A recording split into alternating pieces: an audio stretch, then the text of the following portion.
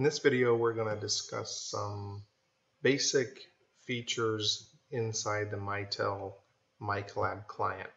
So in a previous video, I went ahead and explained how to install the client uh, and how to log in the first time. So once that is completed, then this would be a good place to start uh, with your next uh, training exercise as far as figuring out uh, different features and functionality of the MiCollab client. So I'm going to go ahead and uh, launch the client on my desktop. Once you've installed it, you should have an icon that looks uh, just like this. Uh, my Mitel UCA MiCollab Client 6.0 is the current version. So I'm going to double click on that to launch the client. We'll wait for that to get connected into the server. And you'll know it's connected when these items up here green up at the top. So now there's uh, several pieces of this client and we're going to kind of go through a few of the basic things in this video. So to start with, we'll start by clicking your name at the top. So if you click your name, you'll see there's several different options here along the side. So we'll go through each one of these in this video and kind of explain to you what they do and what their features and, and, and how they relate to the client. So if we click to the configuration for in, first, so under configuration, we have several different options here. You can change the appearance of how you want the client to work. Um, so when you display contacts in the client, your corporate contacts and the contacts that are in the client when you're looking up people, you can change if you want them to do last name um, and then first name, middle name, or first name, middle name, last name, whatever, right? You can also check box here whether you want it to show the contact's picture or not, and you can also change the language. So um, there's several different languages here. If you want to use a different language for the client, you can do that. The next one is the calendar integration if you want to integrate your client with your Microsoft um, Outlook calendar, this will actually change the status in your client and allow you to automatically update your statuses in your client based on whether or not you're in a meeting or not. So if you were to enable this functionality here, then you can then ch check and see how you want this to, what, what status you want your client to be in based on whether you're busy or out of the office in your Microsoft. Uh, and this pretty much just integrates with Microsoft uh, Outlook and your calendar in Outlook. So if you click on the configure uh, your calendar, your Exchange calendar, this is where you can put in your email address and your login and so forth if you need to log into that calendar if you don't already have the calendar up and running on your machine. And then here's where you pick what status you want it to show based on um, on how your calendar shows. So you could create a status in there says in a meeting, and then you can choose that in a meeting or do not disturb when you're in a meeting or when you're busy on your calendar. And then following this, once you're um, once your busy once your busy indication in your calendar expires, then you can make the, the status a different status if you'd like to have that a different status. The same thing with whether you're considered out of the office or not on your calendar. So this is the, the calendar integration. Uh, you can play with that and see how well that works for you. Call notification.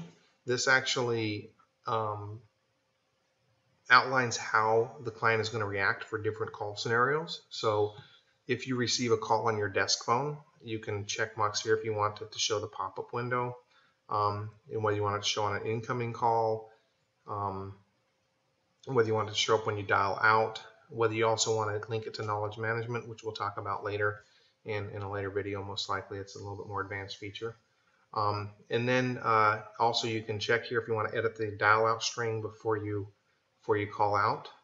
And then also you can you can check this if you want to display missed calls on your main extension only. So if you have multiple extensions on your phone, like you receive calls on other extensions on your phone, you might not want to show that as your missed calls if it's somebody else's line that's actually ringing on your phone. So then you could checkbox that so that it wouldn't show up those in your missed call in your, your missed call. So then we have uh, the chat settings. So this will show how you want your chat to react. So if you want to show that you're away from your desk after five minutes, or you can change this to whatever option you have available here, two, five, ten, or however long your keyboard is inactive then it will show away. So this little icon would then turn to a, a, um, a yellow or an orange icon. It's actually yellowish that says that you're away. And other people will, will see that that you're away as well. So Then if you want to um, display pop-ups when the chat comes up, which is probably highly recommended so you know that somebody's chatting with you.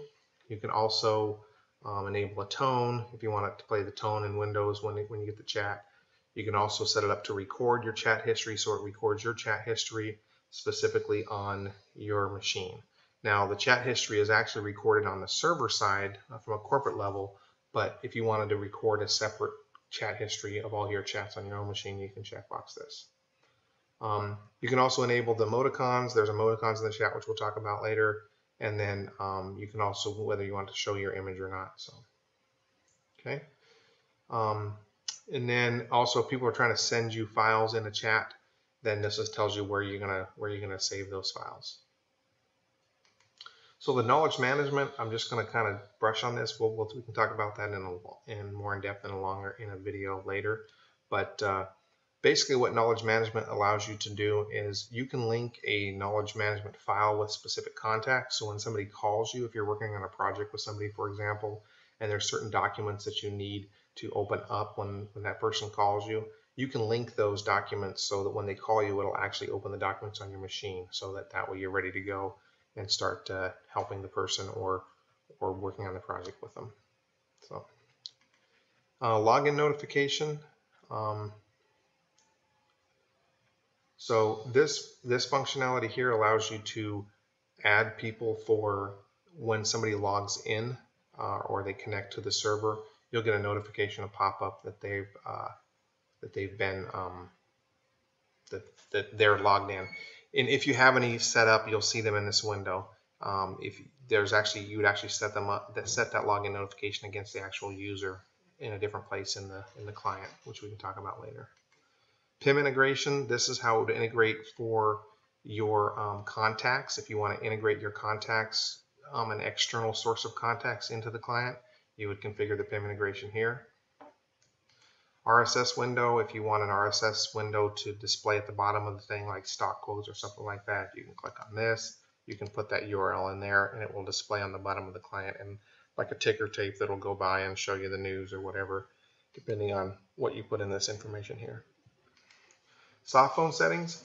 If you have a soft phone configured for your, uh, your account, this is where you would go in and, and, enable and turn on that soft phone. So we'll talk about that later in soft phone configuration in a video separate for that.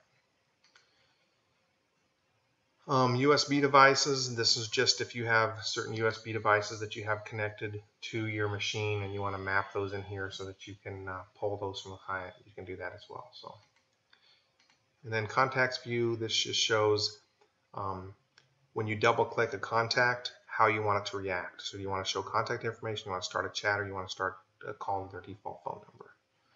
So that's pretty much all of the options in the in the configuration menu and kind of what they do. So